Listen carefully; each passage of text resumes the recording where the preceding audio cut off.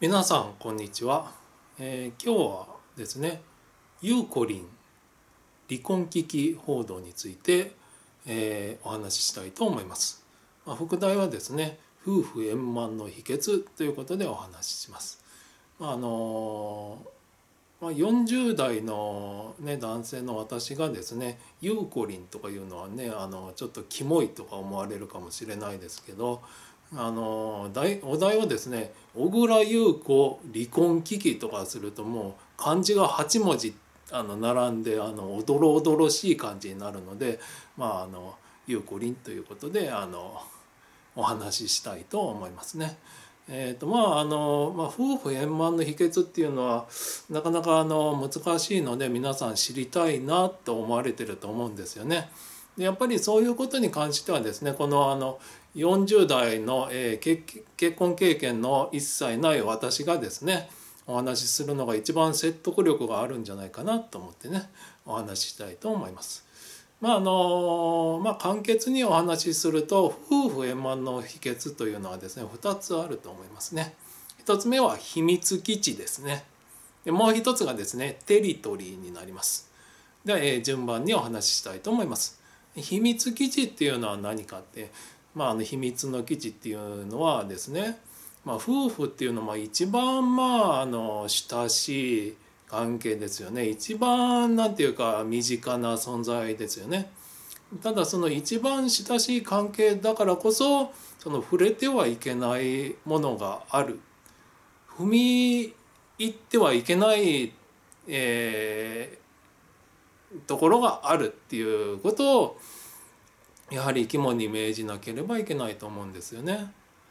本当にそのまあ一人の人間対人間として生きていく上でどうしてもあの入っちゃいけないところがあるっていうことですよね。まあそのまあ秘密基地っていうとまああの男の子のなんか遊びみたいなものですよね。まあ男の子で言えば秘密基地、まあ女の子で言えばまあ宝箱とか言うんでしょうかね。秘密の宝箱とか言う、まあ、開けちゃいけないものがある。であの踏み踏み入っちゃいけないものがあるっていうそういうまあ意識を持ってですね、えーやっぱり暮らしていくことが大事なんじゃないかなと思います。まあそこはもうあの相手のそのまあ自由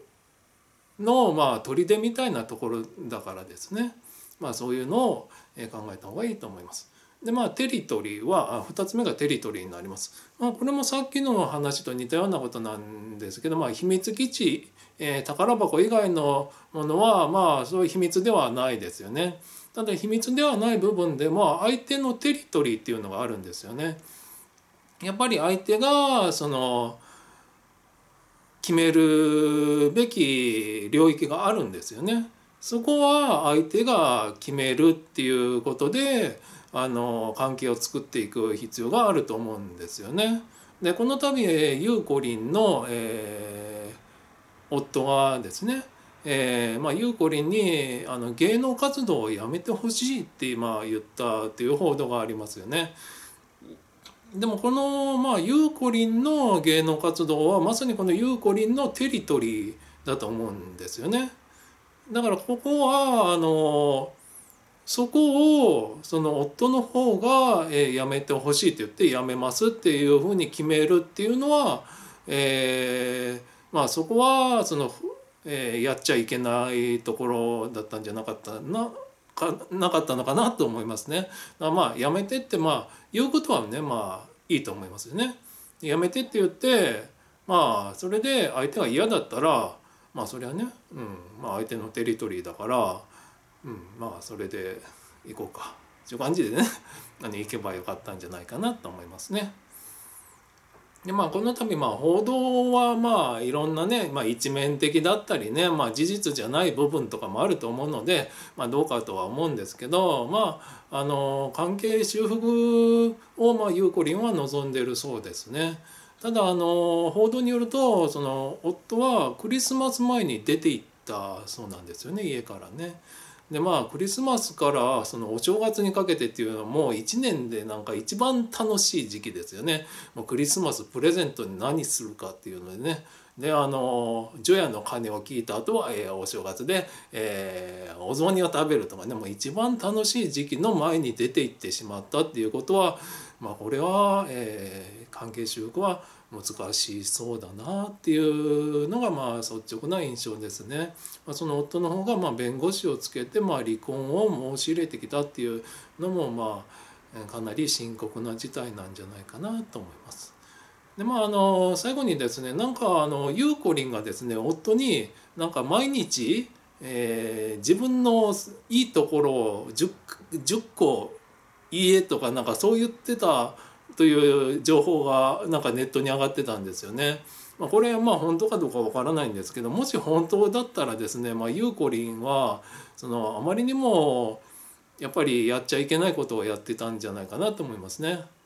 いやそれはそんな10個もないですよね。うん、無理やりですよねこんなんね。あのでまあ何を言うか何を言わないかっていうのもその人のやっぱり一番その根幹に関わる、まあ、秘密基地みたいなものだと思うんですよね、まあ、宝箱みたいなもので、まあ、そこは相手の自由に任せると、まあ、それは言ってほしい時はまあちょっとは言ってほしいってまあ言ってもいいと思うんですけど毎日10個とかもうふざけんなよレベルでいいんですよね。こんなんないってほんそんなことをもし毎日言わせていたらそれはもうあのひどいことだなと思いますね。ということでまあ、え、芸能活動をやめてもどうかなと思いますし、まあ、好きなところ10回10個言えっていうのもこれは本当ならまあどうかなって思いますよね。まあ、そういうわけで、えー、今日は、えー、夫婦円満の秘訣というのはね私なりの考えをお話ししました。では、えー、ご視聴ありがとうございました。